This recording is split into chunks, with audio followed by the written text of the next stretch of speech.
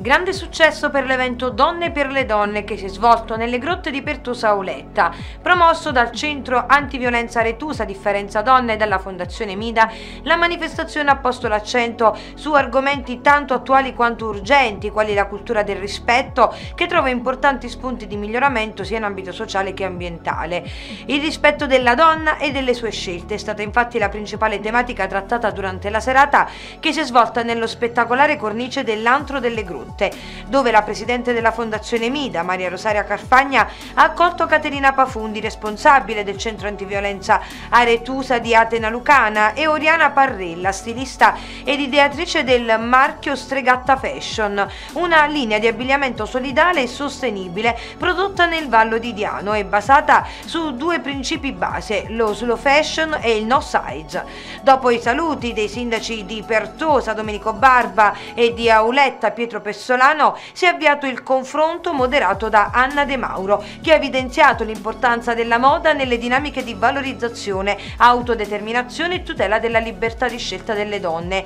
e ha trovato il favorevole riscontro di un folto pubblico che ha poi assistito ad una spettacolare sfilata dei capi stregatta fashion indossati dalle attiviste del centro antiviolenza Retusa e da altre donne volontarie che hanno trasmesso l'importante messaggio di cui il marchio si fa promotore autore. La bellezza non può essere legata a canoni estetici come le taglie o a stereotipi imposti dalla società. La serata è stata impreziosita dalla collaborazione di professioniste del territorio come Angela Scaffa e Marianna Lupo e dalla esordiente Antonio Lamattina, le quali hanno magistralmente curato l'hairstyle delle modelle. Inoltre a completare la rete di donne che ha gestito la serata è intervenuta Graziana Roscigno, presidente dell'Associazione I Colori del Mediterraneo Mediterraneo, che con un laboratorio pratico ha dato dimostrazione di come sia possibile tingere i tessuti con piante e parti di alimenti vegetali, mostrando anche le tonalità derivate proprio dagli scarti del carciofo bianco, eccellenza